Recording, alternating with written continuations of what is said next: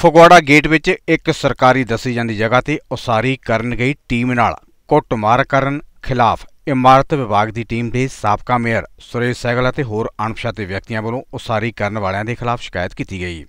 ਨਿਗਮ ਦੇ ਇੰਸਪੈਕਟਰ ਦਿਨੇਸ਼ ਜੋਸ਼ੀ ਨੇ ਸਿਵਲ ਹਸਪਤਾਲ ਵਿੱਚ ਐਮਐਲਆਰ ਕਟਾ ਕੇ ਥਾਣੇ ਵਿੱਚ ਇਹ ਸ਼ਿਕਾਇਤ ਦਿੱਤੀ ਹੈ ਕਿ ਹੱਥੋਪਾਈ ਦੇ ਨਾਲ ਨਾਲ ਕੁੱਟਮਾਰ ਕਰਨ ਦੇ ਦੋਸ਼ ਲਗਾਏ ਹਨ।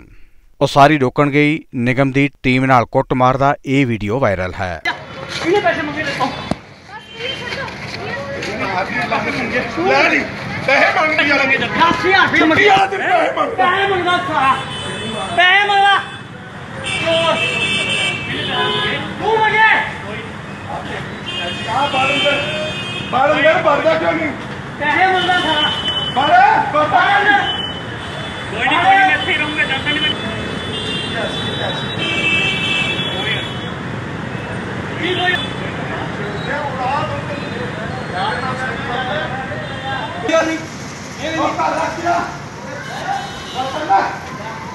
दस हज़ार रुपया मंग लिया मैं लेंटर को दस हज़ार रुपया पैसे मंगदा सारा पैसे मंगदा तू मंगे बारह हज़ार भरदा क्यों नहीं। पैसे मंगदा सारा बारह बारह मैं तो पूछा तू मैं तो तू क्या कर रहा है?